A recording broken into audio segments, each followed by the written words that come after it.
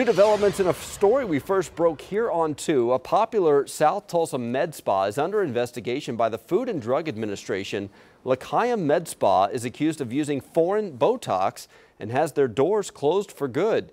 Customers first learned about the troubles in an email sent by the owner.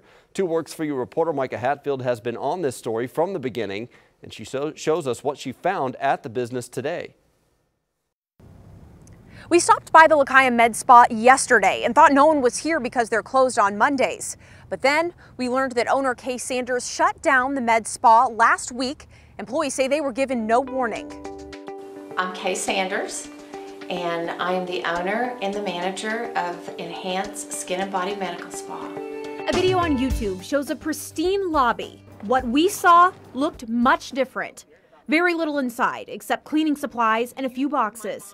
Someone in the area this weekend saw Sanders moving things out of the med spa and snapped this picture of filing cabinets in the back of a truck. No sign they're closed online. So customers showed up at L'Chaim today for appointments.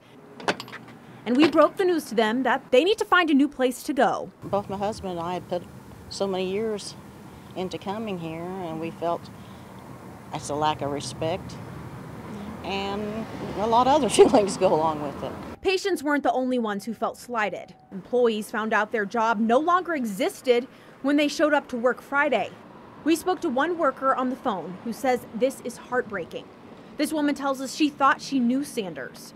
Since the popular med spa closed, she says her phone has been blowing up with people who prepaid for services to get a better rate. The employee says hundreds of customers will be out money ranging anywhere from $40 to thousands.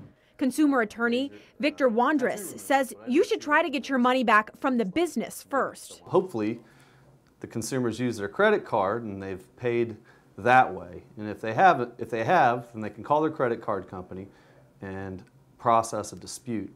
Wandra says if that doesn't work, your best bet is to get an attorney, and the Consumer Protection Act will cover your attorney's fees. We called Sanders today. Hello, this is Kaye. She was very nice, but says her attorney instructed her not to comment. I've just been a loyal customer and just came here and the door's locked. That's all I know.